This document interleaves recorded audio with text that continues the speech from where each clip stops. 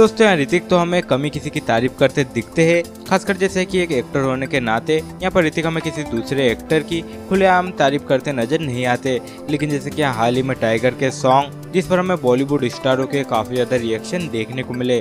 और जैसे कि इसी बीच ऋतिक भी, यहाँ पर टाइगर के सिंगिंग से काफ़ी ज़्यादा इम्प्रेस हमें दिखे है। यहाँ पर जैसे कि ऋतिक भी टाइगर के सॉन्ग का बेसब्री से इंतज़ार कर रहे थे। और इसमें टाइगर की सिंगिंग को सुन, यहाँ पर ऋतिक भी नहीं रह पाए। और इसमें इस बीच ऋतिक कहते दिखे दिस इज़ अमेजिंग टाइगर और मैं जैसे कि यहाँ ऋतिक क्लैप इमोजी लगाते दिखे।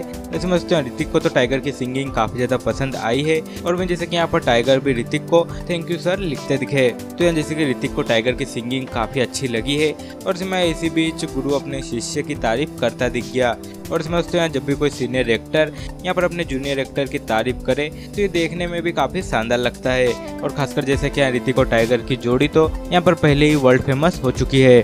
तो जैसे कि टाइगर की सिंगिंग इन दिनों कमाल कर रही है और इसमें सभी को टाइगर का सॉन्ग अनबिलीवेबल काफ़ी कमाल का लगा है। साथ ही और बॉलीवुड से जुड़ी लेटेस्ट अपडेट के लिए चैनल को सब्सक्राइब करें, लाइक शेयर कमेंट ज़रूर करें।